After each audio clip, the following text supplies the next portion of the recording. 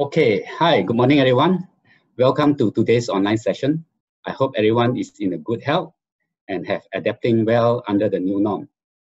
I'm Michael Ng, Sales Director from Redtone, in charge of enterprise sales, and I'm your host for today. Today we have about 35 participants. What we are going to share today is how to secure your enterprise, protect your data against next generation threats.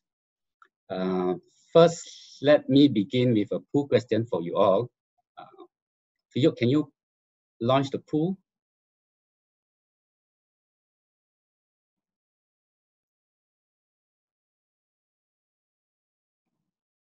Okay. Uh, have you experienced any cyber attack in the past three months? So you can give your answers. Uh, I will give you about 15 seconds before we move on.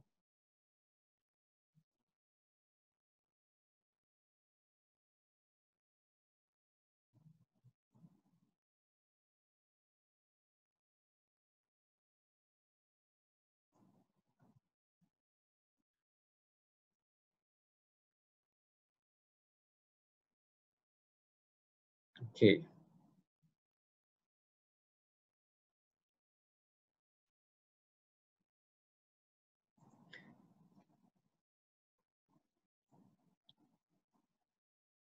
Before we start, uh, I want to go through the housekeeping items. Uh, let us move to the next slide. Here we go. Today we have a small group of audience. Uh, our intention is to make this online dialogue session interactive rather than one-way presentation. During this presentation, all participants will be on listening mode and your mic will be mute. However, you are welcome to ask questions in the Q&A panel. This session will take about an hour. During the Q&A session, if you have any questions, please click on raise hand button and we will enable the speaking mode for you. The raise hand button is at the bottom of the screen. Can I see some hand? Uh, can you all try it? Okay, great. Without further ado, let me introduce our presenter, Edwin Loh. He is the head of business in LifeTech. He has years of experience in network and security industry. So let's begin the presentation. Over to you, Edwin, and you may take it from here. Uh, thanks, Michael, uh, and good morning, everyone.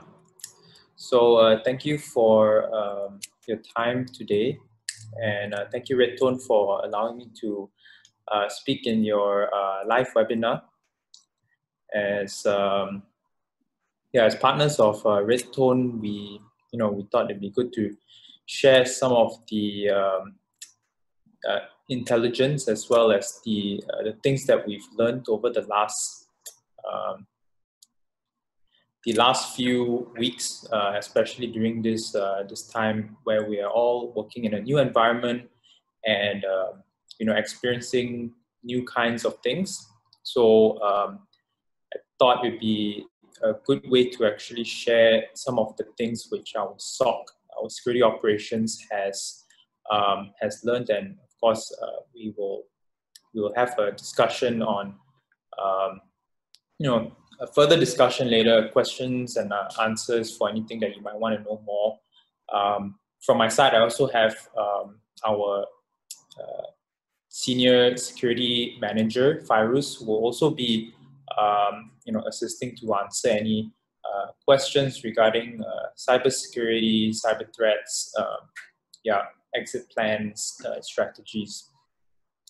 So I will go ahead and presentation.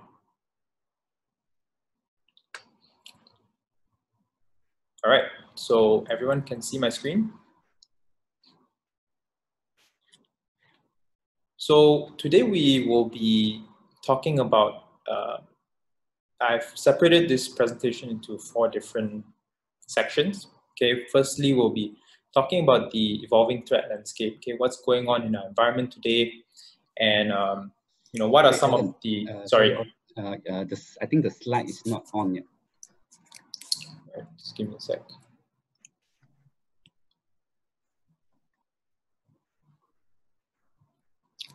Okay, cool. Okay, good. All right, good. All right. Sorry about that. Okay, so uh, as I was saying, we'll be separating the slides into four different sections. Okay, I'll be talking a bit about the threat landscape.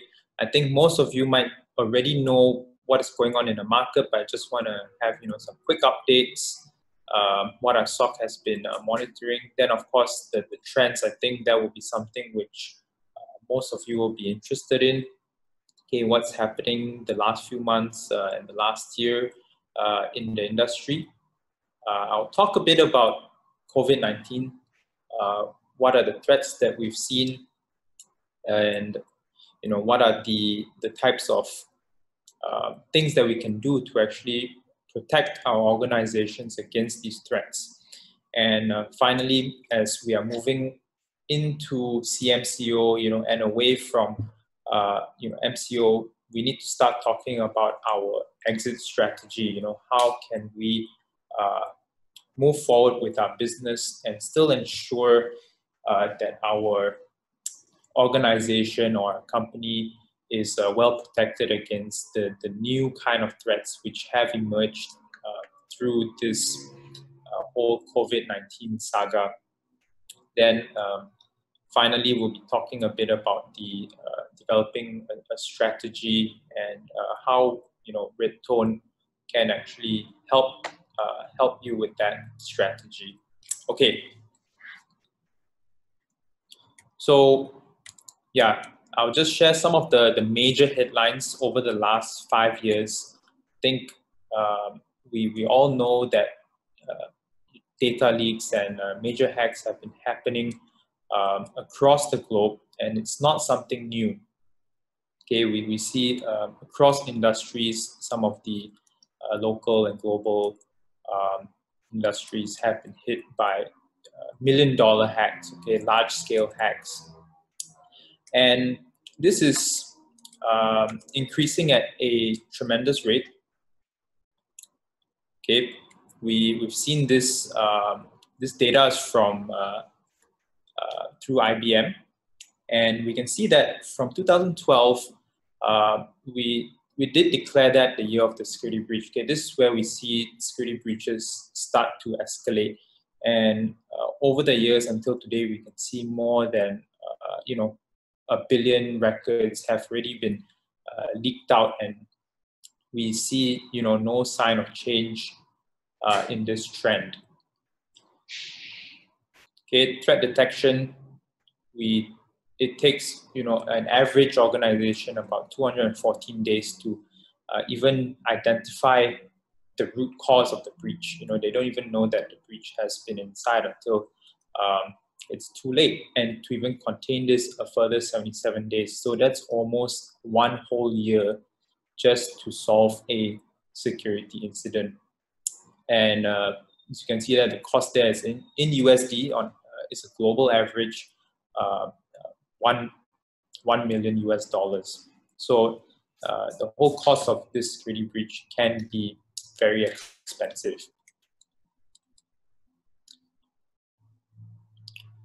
Uh, just some further statistics.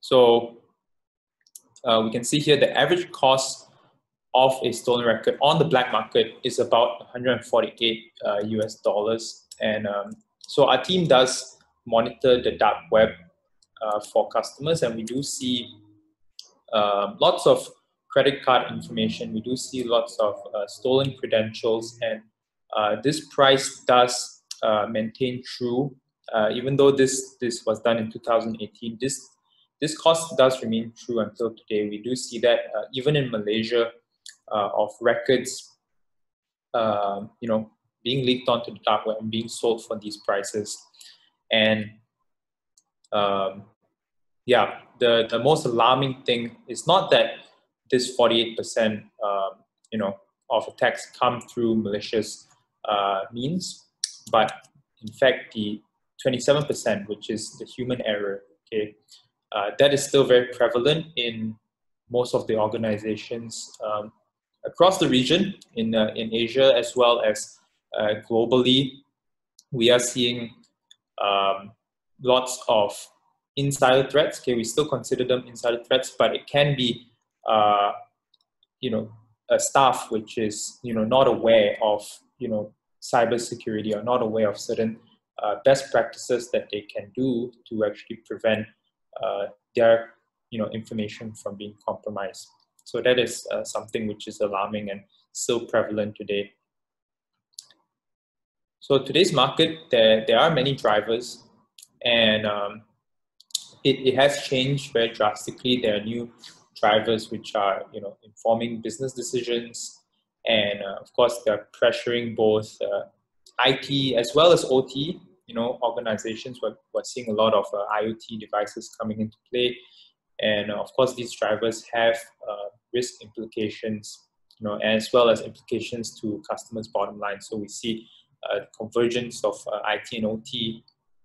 Okay, we're seeing uh, resilience and uptime. Okay, uh, safety, so failure of uh, cyber physical systems. Okay, we've seen uh, many attacks, you know, across the globe targeting physical damage. So we've seen uh, nuclear plants being damaged, dams being uh, exploded, so on and so forth. So these are some examples of actual cyber attacks which have happened that cause physical damage. Uh, corporate espionage, state-sponsored attacks are still very prevalent. Okay, from China, from Russia, from the U.S. Uh, reputation risk. So um, we're seeing a lot of degradation of company reputation due to data loss, you know, systems shutdowns, and of course, uh, phishing attacks. Okay, um, especially if you're customer facing, we see a lot of uh, phishing attacks happening, and the the way that these uh, attacks happen have also changed. You know, the way. Uh, later, I will share some of the the the phishing uh, websites that we actually monitored during this COVID nineteen uh, saga and of course, uh, national security responsibility. Okay, so adhering to the uh, the standards and the best practices.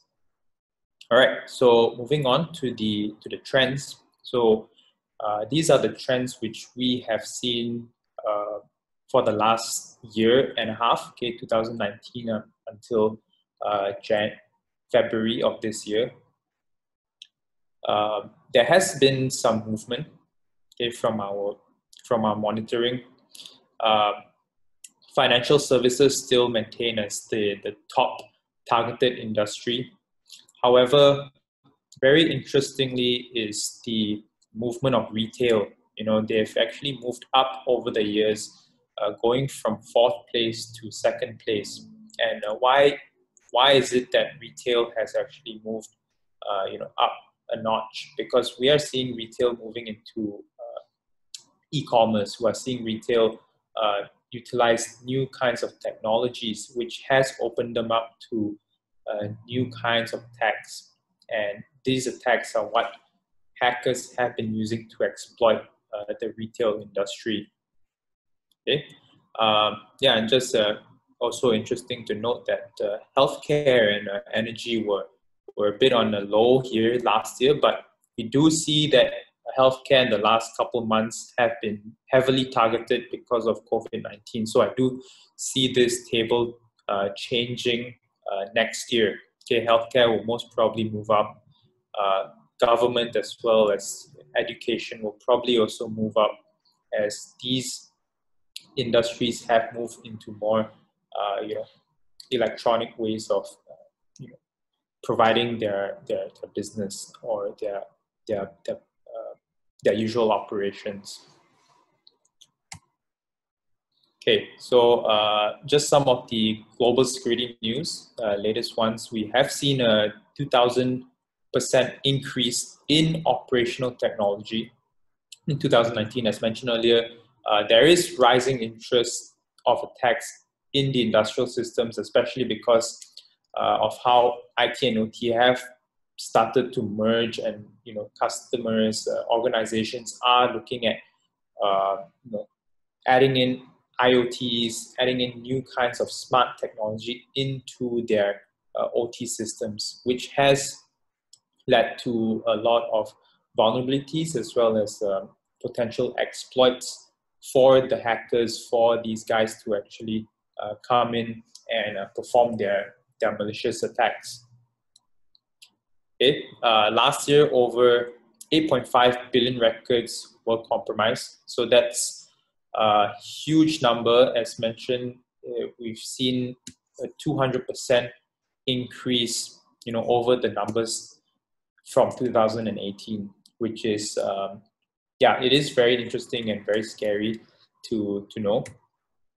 And uh, we do see threat actors actually returning to ransomware. You know, this has uh, been prevalent across 12 different countries in the region, um, you know, and across the continents as well. And uh, it has been prevalent across industries. So we do see ransomware to uh, to go up this year as well. Uh, vectors of attacks. Phishing is still the number one vector of attack. Okay, it is uh, the most frequently used type of attack and the most easiest for, for hackers to actually uh, compromise an organization. Okay, but interestingly, um, this is actually down from 2018 where phishing attacks was almost 50% of this graph. So uh, that's just interesting to note. And um, notable increase was the scan and exploit. So attackers have been increasingly scanning target environments for vulnerabilities uh, to exploit. And they, uh, we have found, you know, this technique to be used in about yeah 30% of um, you know incidences, and this is up uh, from the previous year about 10%. Uh, unauthorized use of credentials. So um, most of the time, this is linked to phishing uh, attacks. So once the credentials have been stolen through phishing, that is where uh, attackers can actually use these credentials for unauthorized usage. Okay, then of course, uh, mobile device compromise, we may see this increase this year uh, as we have increased the use of, uh, you know, work from home, uh, mobile devices, you know, BYOD. Malware types, we see 46% are still uh, backdoor type of attacks, uh, backdoor type of malwares. Uh, basically, we allow attackers to establish control, okay, over a victim host. And it's mentioned a lot of this coming through phishing attacks. Okay, I wanted to discuss a bit more on cloud security. So this is a huge trend which um, our SOC has been uh, monitoring over the last uh, one and a half to two years. Okay, uh, many organizations are going on a cloud journey. So they are migrating a lot of their assets into the cloud. They're subscribing to Amazon, they're subscribing to uh, Alibaba, Azure, uh, or even private clouds. And this is this is really the the future. And of course, now uh, during during this time where working from home was prevalent, uh, you know, many new customers or organizations have moved into cloud to try and support their business. And it comes to no surprise as, uh, you know, organizations have actually uh, struggled okay to to to understand uh, you know and balance their needs for you know integration as well as uh, best practices when it comes to, to cloud. Uh, you know a lot of misunderstandings especially from the cloud service providers where maybe from organizations expectation is to secure um, you know to provide that kind of security in supporting uh, the underlying hardware the softwares whatever the customers are hosting, uh, or even even the the configurations. And a lot of these um, also we we talk about in-house security teams, uh, perhaps not being able to adapt to you know the, the new era of cloud and because of the high volume of alerts, it may also lead to um, you know potential malicious activities slipping off the radar. Uh, sometimes maybe not even uh, monitoring that data on a you know continuous basis, and that is because of the, the yeah one the lack of security teams and the adapt the adaptation into cloud, which has been uh, you know a, a, new challenge for many organizations. Uh, type of data that we do see in the cloud, uh, most the highest of course email. I think many of us are on uh, Microsoft 365, you know Outlook, or uh, Gmail, Google, and this is where uh, a lot of the, the risk comes into play. And as you can see, uh, according to Gartner, uh, there is a projected increase, you know, from 38 billion in 2019 to 49.1 billion. So people are moving a lot of their data uh, into cloud, and we do see an increase of data breaches um, due to misconfigured assets in the cloud.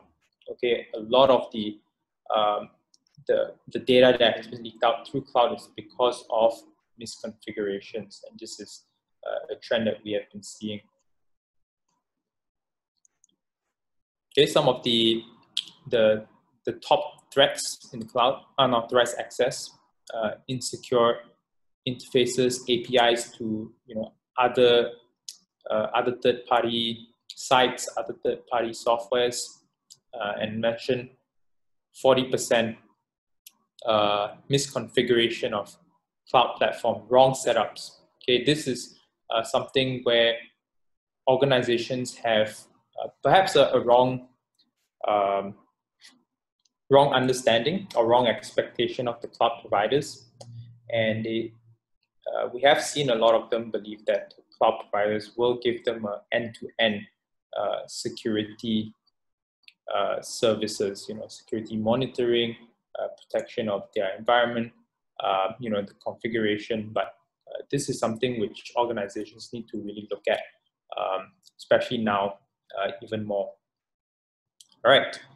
So those are some of the big trends. 2019, we do see that going to go further into 2020 I'll be moving on now into the threats that we saw uh, during this COVID 19 uh, saga. So, the last two months,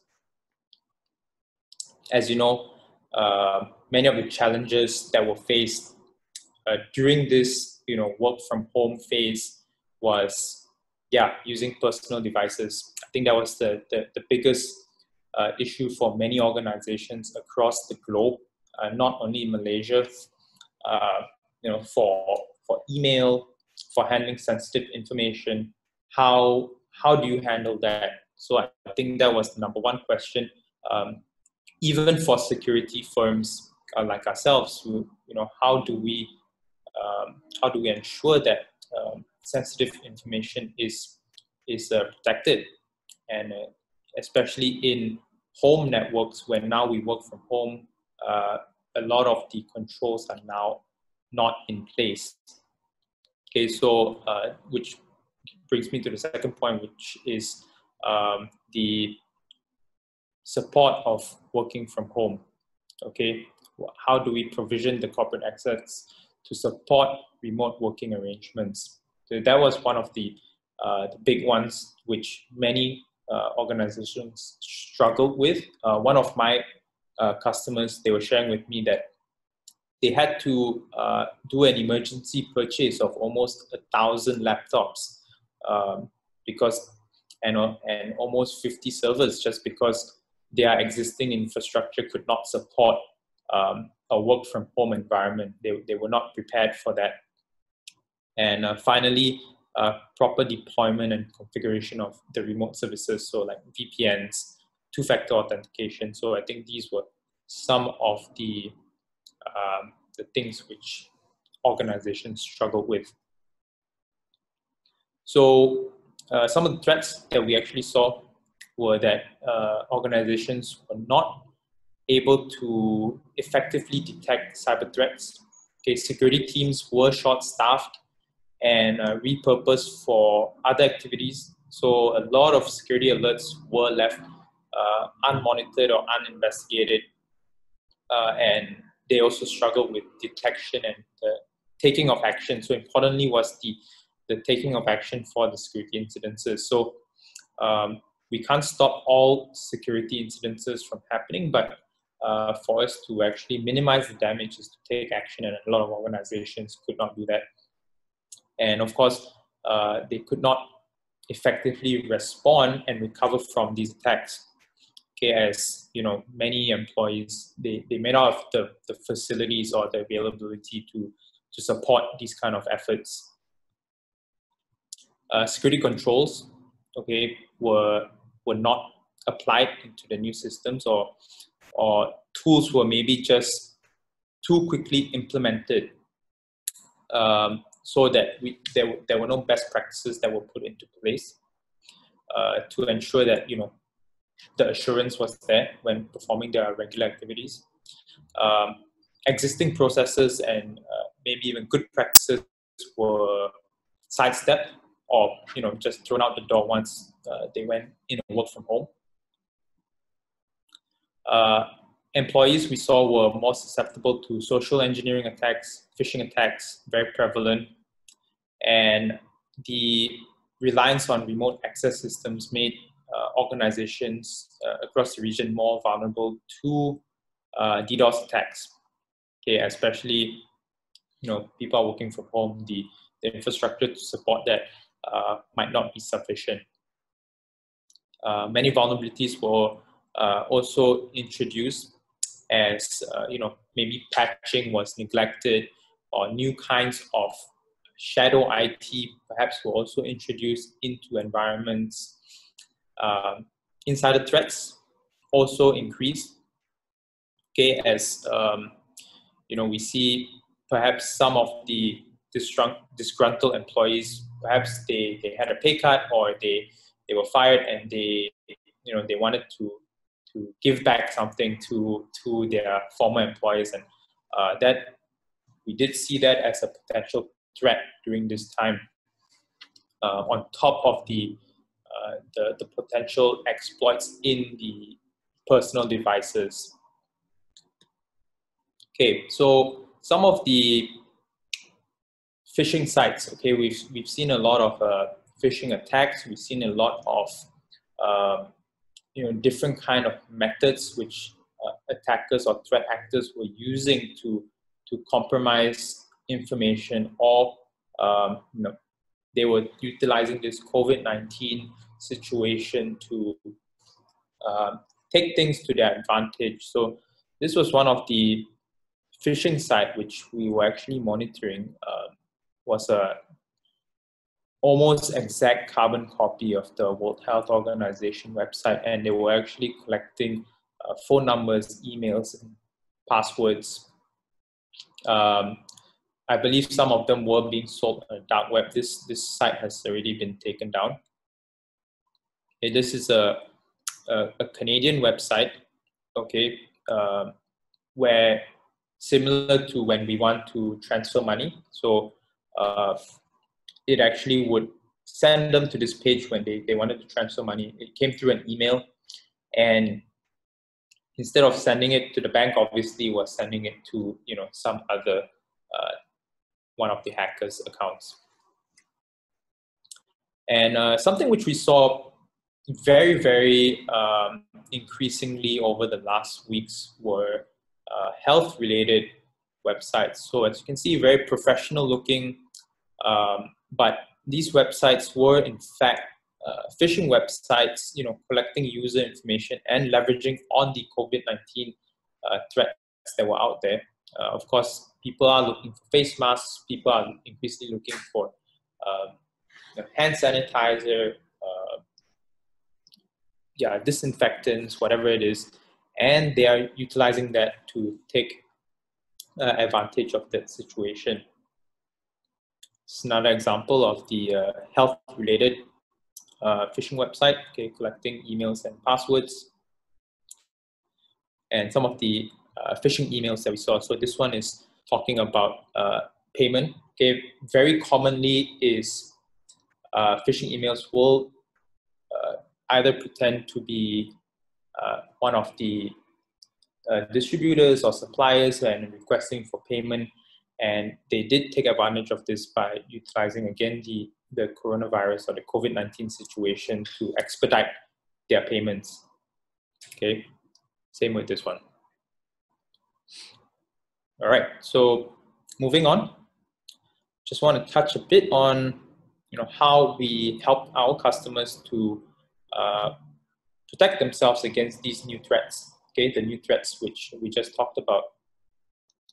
Um, one of them, uh, of course, we we are providing 24 by 7 uh, monitoring. You know, monitoring the, the threat patterns, and uh, we were able to you know help them implement a you know best practice you know when working from home and we were able to monitor that as well you know monitor for shadow IT monitor for uh, user behaviors uh, that were not normal uh, in their in their environment okay uh, I'll share these slides uh, later so I won't go through every point uh, but you can have a read through it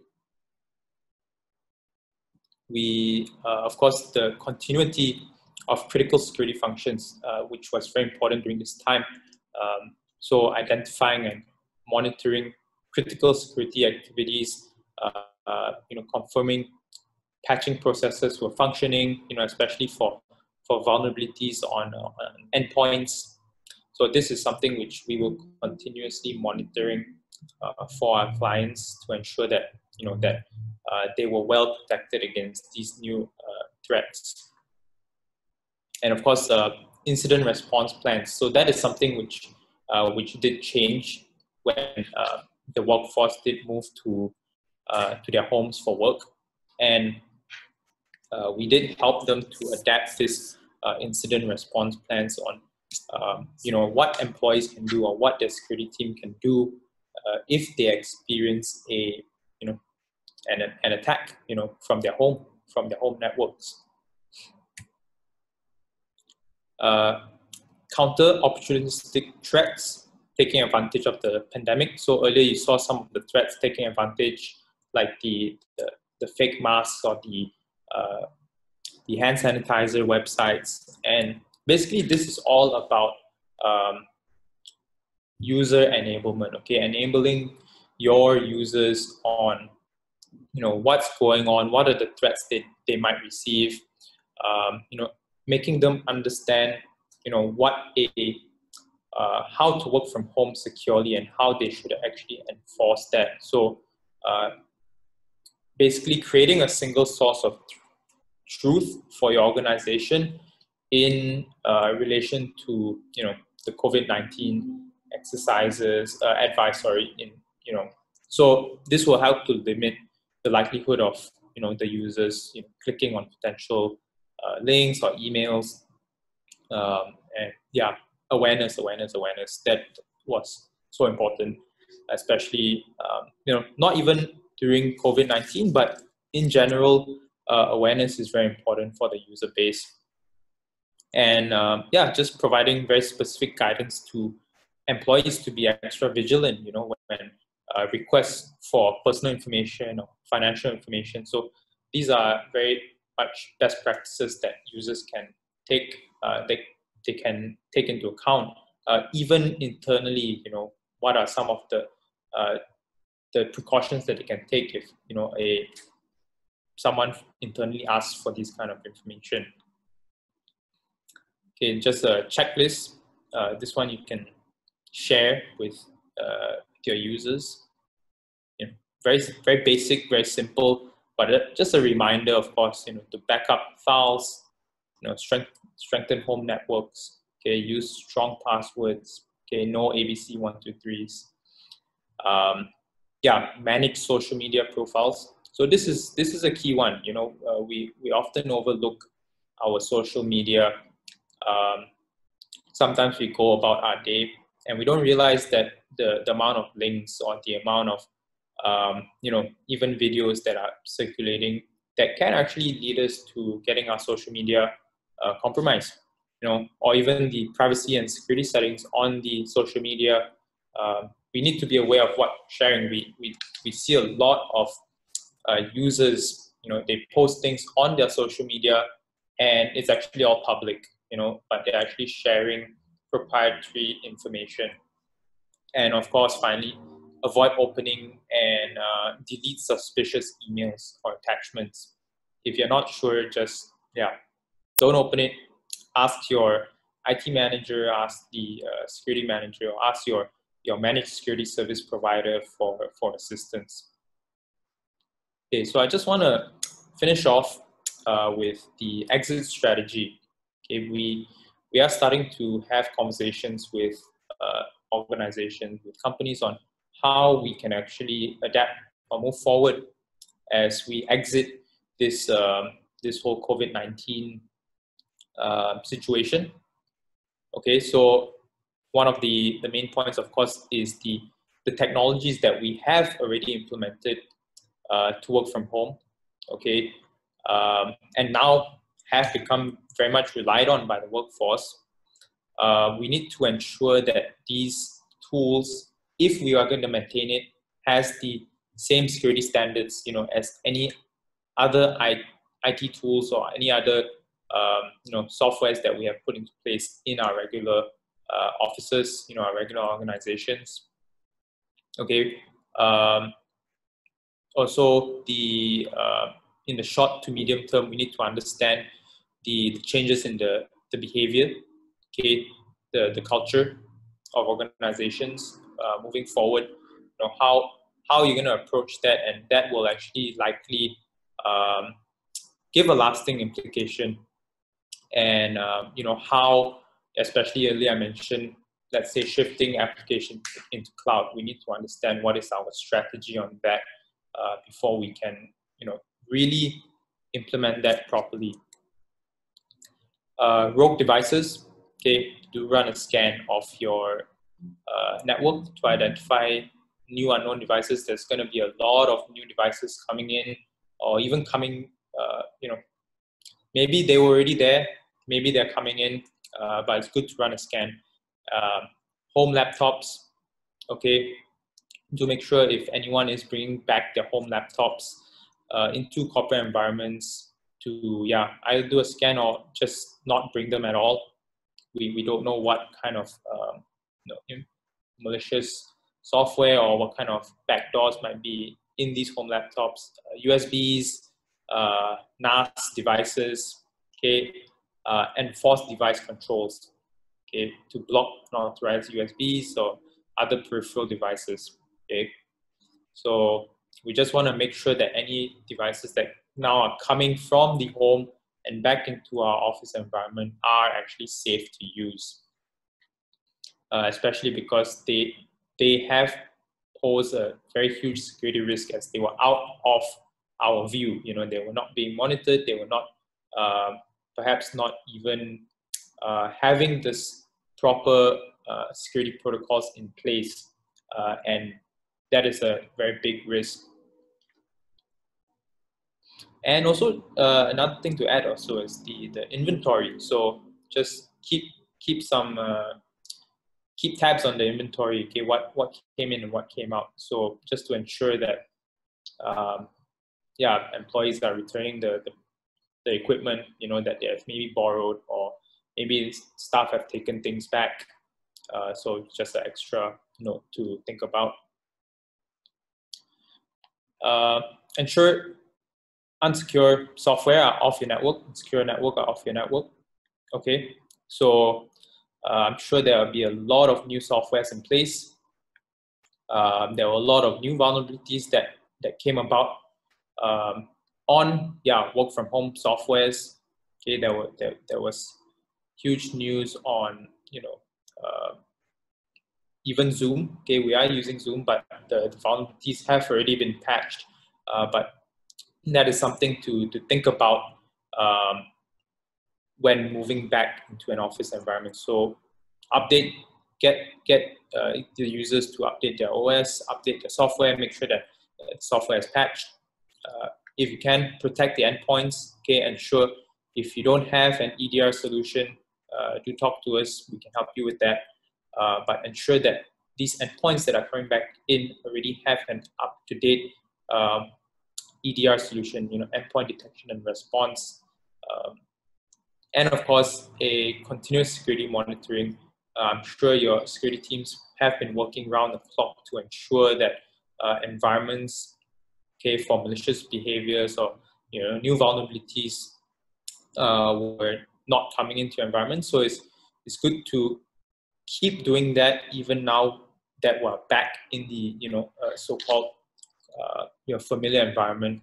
Uh, but as mentioned, a lot of the risks, new risks has been introduced. So uh, it's good to have that security monitoring uh, on top of that.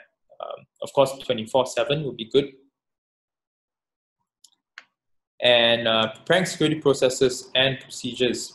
Okay, password resets. Okay, ensure your employees are um, aware of company password policies. If you don't have one, should have one in place. Uh, ensure compliance is in place as well. Uh, employee onboarding. Okay, I, um, I'm sure there, there, there were organizations that did have new hires. Um, so just keep that in mind to, to make sure that they understand the processes and procedures. And um, yeah, just maintain readiness for another round of, uh, you know, perhaps working from home. So um, we can we can basically fine tune some of the mistakes uh, from the lessons that we've learned, fine tune our, our action plans, and that's something that uh, we can also help help our customers with. Uh, yeah, so we can help help you to develop a security strategy. Okay, understand your baseline the baseline of your current security state and um, help you to build that across the board on different areas. Um, yeah, and of course, we do have uh, many different services that we can help across the board, uh, you know, from security strategy to uh, security intelligence operation, you know, managing your, your SOC, uh, managing your SIEMs, uh, to give you a full end-to-end visibility of your environment. So that will actually help to uh, to prepare yourself for a future possible, you know, work from home situation or a future pandemic situation. Um, and finally, of course, our uh, our SOC, sorry, yeah, our SOC is in place to to give that holistic view um, yeah, we have a cognitive SOC, the first in, in Asia, the only one in Asia as well. Uh, and that can give you that, um, that security and that assurance that your environment is protected from these new threats that come about, whether it be from cloud, whether it be from uh, you know uh, threats taking advantage of uh, pandemic situations. We can monitor for the user behavior analysis, provide that incident response, uh, forensic analysis, uh, and will give you the security reports, okay, the advisories, um, how to solve those problems. Okay, these are actionable reports, actionable reports that uh, you'll be able to use to, and our team will be able to assist you to actually prevent against these kind of attacks. Um, you'll be able to know the, the, latest information from the threat intelligence. So some of the information we have on these slides, you'll have uh, we can provide more. We can provide something a bit more detailed. Um, if you want to know uh, what is related to your industry, and of course, we we have uh, powerful tools that can give you, you know, uh, end-to-end security landscape visibility, uh, security automation, um, orchestration. So we can orchestrate uh, instant response in in record times. You know, faster uh, to minimize the the potential damage that might be inflicted by these kind of threats. Okay, so just our, our difference. Okay, what, what we can actually provide to you, uh, we can help our customers maintain high availability, you know, give that deep analytics, detection, response in rapid times, and uh, yeah, we can give that world-class capabilities uh, to map out and visualize cyber attacks and give you that centralized uh, management, um, especially uh, yeah, with the new kind of threats that we will be continually facing in the, the next, you know, 5 to 10 to 20 years. All right, so uh, that's all that I have to share. Uh, thank you so much for listening. I'll uh, end this time back to Michael.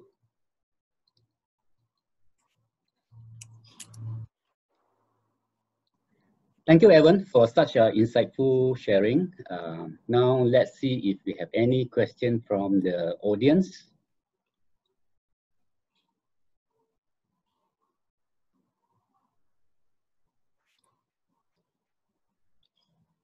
Okay. Any question from the audience? Uh, yes, let, let begin the Q&A session. Uh, Evan, thank you for the good presentations. Um, if you have any question, please write down uh, at the Q&A column and we will get our panelists to answer the question. There are a few questions from our audience. Um, the first question, as we, as we know, the new COVID-19 virus is actually spread it out.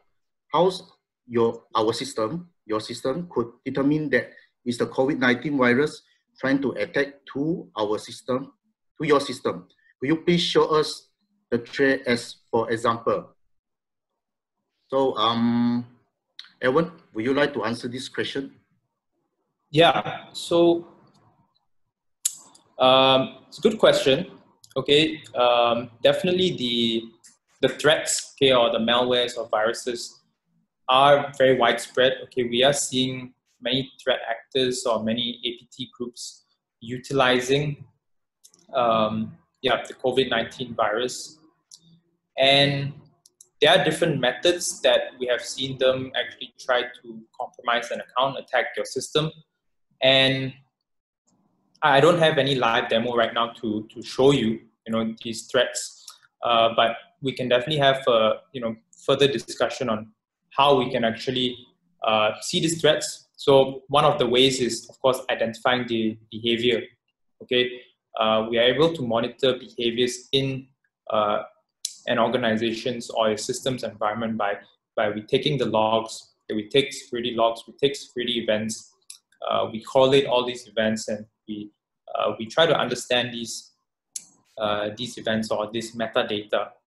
Okay, when we understand this metadata, it actually comes up into actionable uh, alerts, okay, which our security analysts can take action to um, you know, either perform that incident response, okay, or perform that uh, that remediation, whether it to be uh, yeah isolating a a compromised laptop. Okay, so one of the the use case that we had was uh, one of the users from our customers clicked on a okay a COVID-19 phishing link. Okay, they got an email and this email basically was uh, yeah similar to the, one that I showed was requesting for some kind of payment. Um, and there was a PDF so when we opened the PDF uh, the PDF did contain some uh, ransomware. And um, the good thing about this customer is that we already had uh, embedded our security automation tools. So once this uh, ransomware propagated in the uh, in the endpoint uh, our tools were able to identify that, that malicious pattern, okay, that um, now the, the endpoint was being compromised and we're able to isolate that. We isolated that endpoint uh, automatically, which actually led to uh, one, the we were able to identify the root cause. Okay, it was through a, a phishing email. Uh, two, the the ransomware or the, the malware did not actually spread into the environment. It, was actually contained within that, uh, that specific endpoint. So that is just uh, one example of, of how we were able to, to stop these kind of threats. But uh, if you'd like to, yeah, to, to see that no more, we can definitely arrange a, a separate demo session uh, for that. Okay. Um, let's proceed with the second question. Um, the question from the audience, phishing site, any example in Malaysia, Malaysian banking? Um, probably I pass it to Fairuz. Fairuz there? Hi, uh, can everyone hear me? Yep. Yes. Okay, all right. So um, we do have uh, from one of our services where we monitor all these uh, website uh, for banks. We do have a few banks under us that we provided the service. Um, there are a lot of uh, all these phishing websites, especially when the banks are offering online services uh, like uh, Maybank2u, CIMB Clicks, uh, or your, or even something like e-wallet. We have seen uh, the rise of it. Um, basically, all these websites, um, what they do, they just uh, see uh, because the way how websites work, they can just copy the source code of the website and then uh, host it uh, somewhere else, and then embedded the link um, uh, through some phishing emails or uh, through some man-in-the-middle attacks where they inserted the links and then promote, so-called promote the phishing websites where gullible users usually get this website see, oh, this looks like normal. And then even even some even some um, some detection uh, software could not detect that this is a fake website because the way how uh, they transfer or reroute the traffic. And then uh, the, the normal thing happen where you enter your username and password, then they will simply pop up the password is wrong, but actually it's not. Uh, so this happens quite normal. It, even in Malaysia, there's, there's a number of cases that we monitor almost monthly for our customers, uh, especially those uh, popular banks. Um, uh, unfortunately, of course, due to uh, certain restrictions, I cannot share you the links or the images of this uh, phishing website. Uh, but they do, but they are prevalent in Malaysia, uh, especially now uh, for the past couple of months where people are relying on online banking more, especially due to the MCO and such. Uh, not to say that previously we don't see the upward trends, but the the trend for online shopping, uh, online purchasing for the last two months have been so high. Uh, certain websites already uh, slowness uh, due to the increased number of usage.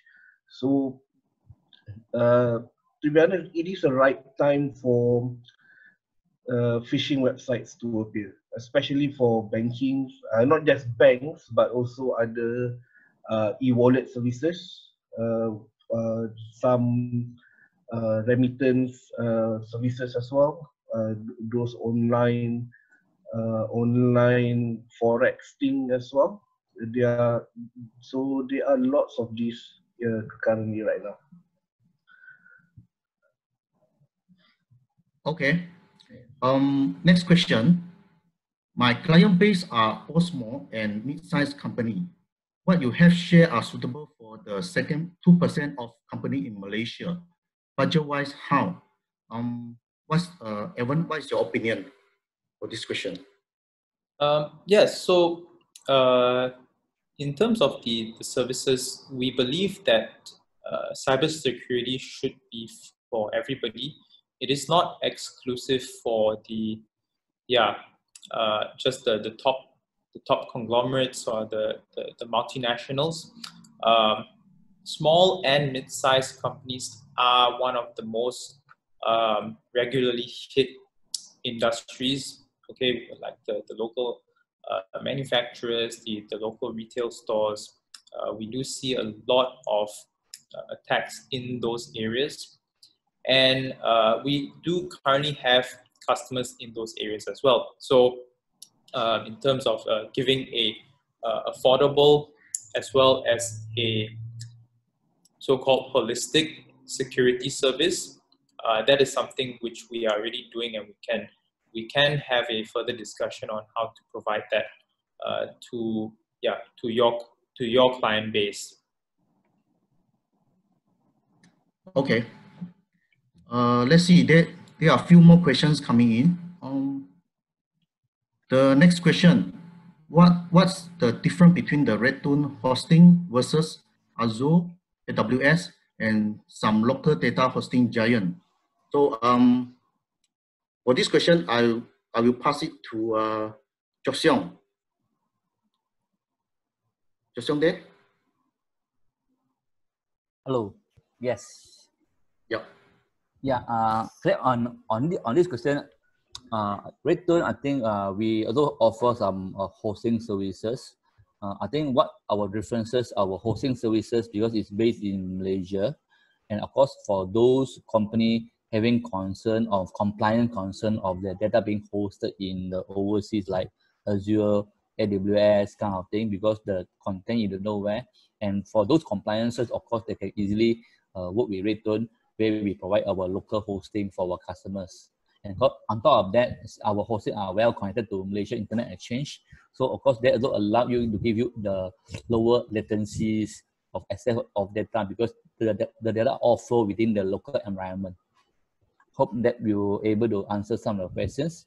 If there are any more uh, doubts or any more questions, feel free to contact our uh, our account manager. We can we are very willing to even provide more info, information on that. Thank yeah, you. yeah. Feel free if you have any question, can can always check with uh, our account manager anytime. Okay, the next question is uh, how would you like to see AI leveraged as a security tool to drive greater cyber resiliency? Um, I will pass it to Evan this question? Yeah, uh, that, that's a great question actually. And um, yeah, we, we are seeing a lot of attacks being uh, becoming more advanced. Okay, um, traditional tools, uh, you know, our signature-based tools are, are not enough. Okay, as Fairuz mentioned earlier, we uh, they, they can't detect some of these new advanced uh, attacks. And uh, in fact, here at our SOC, we already implemented you know, security automation and security artificial intelligence into an operation. So we think of uh, artificial intelligence as having components like machine learning, you know, automation. Uh, it's, it's kind of a, a, broad concept, but the key variable is that the technologies that we have and the automation uh, that we have allows our uh, you know security analysts uh, analysts to be smarter okay to be more deliberate to have better information uh, to have more actionable intelligence so that they can um, act in ways that are more effective for uh, the, the customers for the organization. So that that is where uh, AI can really come into the picture. It can help to reduce false positives and false negatives okay? And um, you know all those good things can happen when when uh, you have the analysts or the people working with uh, you know enabling technologies like like AI, and uh, we find that organizations that are you know utilizing this to the you know uh, to, that are truly resilient. Okay, when we talk about cyber re- resiliency, is um, you know the the ability to to to maintain okay its core purpose you know during a cyber attack. So um, we we find that organizations that use AI to their advantage can enjoy uh, fewer data breaches, okay, fewer uh, cyber exploits um, that infiltrate their system. And um, yeah, the, the bad things are going to happen no matter what. Okay, there's always going to be cyber attacks, but basically it's taking advantage of uh, AI tools, okay, pair that with, uh, with people okay, with the, the expertise, your your security people, your managed security service team, uh, you know, or or partners like like REDtone or or LifeTech or you know whoever it is, IBM, and um, that that can give uh, you know a bigger and better cyber resiliency to the organization uh, across the board. All right. Okay. Um, we have one technical questions. What are some of the indication it is a phishing banking site. Um, what's your opinion, Fairuz? Okay, so basically an indication, uh, the simplest way for uh, layman, layman people, layman person to identify whether are they in the correct uh, website or not? It's just simple. Uh, um, every banks in Malaysia are required to have their identifier or their SSL certificates online, right? So basically, uh, for layman person, you can just check your URL bar uh, for uh, some uh, indication. Uh, you see, there's a lock icon next to the URL where you can check whether the website is truly the correct website or not. Number one.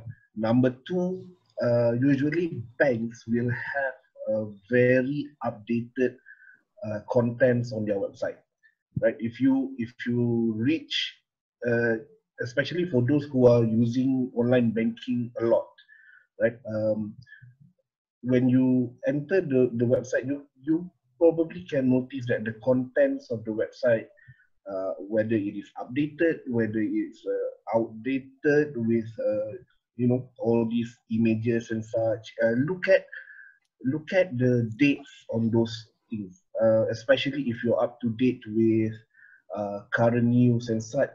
Banks usually will have those um, live all the time, so you can you can just see, you feel and look on how these are uh, presented on the website. Uh, next, uh, for let's say for uh, banks, they do banks do have their agents to market their products. Let's say, for example, their personal loans, their commercial loans, and such. Uh, and these agents are usually uh, posting their advertisements uh, randomly. Some some use blogs, some use uh, social media, some use um, direct email. Even uh, make sure that whenever you are, uh, you know, whenever you are trying to uh, purchase or you are trying to view all these uh, products and services from a service provider like a bank or FSI, uh, make sure that uh, the, the source is uh, the source is legitimate in, in the sense that uh, you can double check with the bank. Usually banks, uh, call centers will be able to help you. Uh, banks will never call you for uh, your personal information because they don't have, because they, they don't need to. They, they already have your personal information when, when you are already registered with the bank, especially especially if you are, you have an account, they won't ask you about your credit card numbers and such because they already have it. Um, the the best way is for you to activate your uh, two-factor authentication for your banking uh, needs and purposes because this is what happen a lot when people are trying to uh, perform all these tasks and then suddenly there's no confirmation from the banks that you, you have been doing all these activities. Uh, for, for an actual bank, whenever you do something, especially during a financial transaction, uh, they will require you to uh, verify all those actions through either OTP or now they have a secure app for you to verify. So all these things, if if nothing else, there's this um, uh, I say the the rule number one of the internet, right? Uh, the rule number one of the internet, I always uh, say that if it sounds too good to be true, it probably is, right? Um, so just when, when you see advertisements from banks, seemingly from banks, say uh, you can win a million or million ringgit, for example, um, there are banks that do that, like BSN, for example, they have their SSPNI uh, program where you win 1 million a month. Uh, there are such programs, but just make sure before uh, you do participate, for example, because usually you, they will ask you to enter addresses, phone numbers, and such.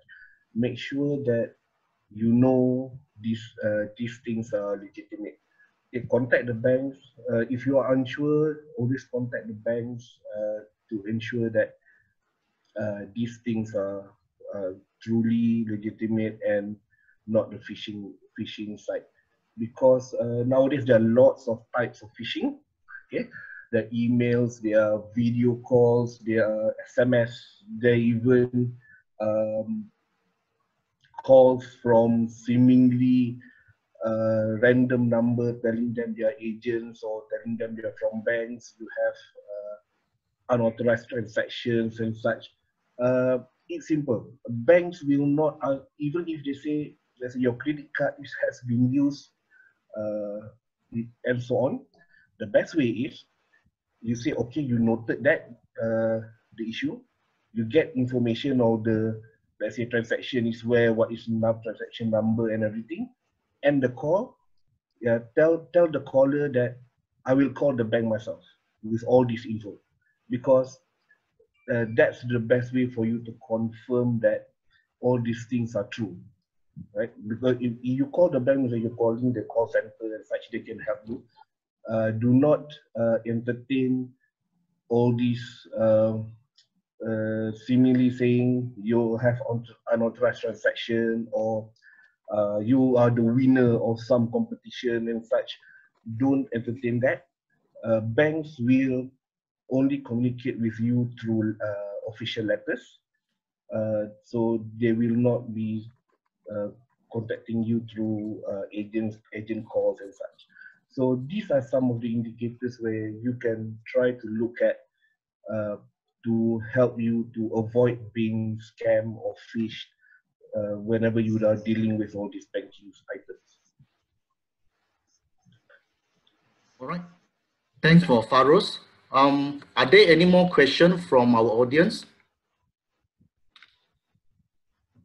Okay, I, all right. Um, I, if no, I will, I will hand over to the floor to Michael. Okay, uh, we are coming to the end of the session. Uh, to know more about managed security services, you can contact our account manager and we can arrange for a one-to-one -one session with you. Today, we are giving out a free POC for your company to do a health check uh, in your network if there's any threats, cyber threats. If let's say you are interested, all you need to do is contact our account manager and we will get it arranged for you. Thank you for your time and I hope you guys enjoy today's session. Thank you. Thank you. Thank you.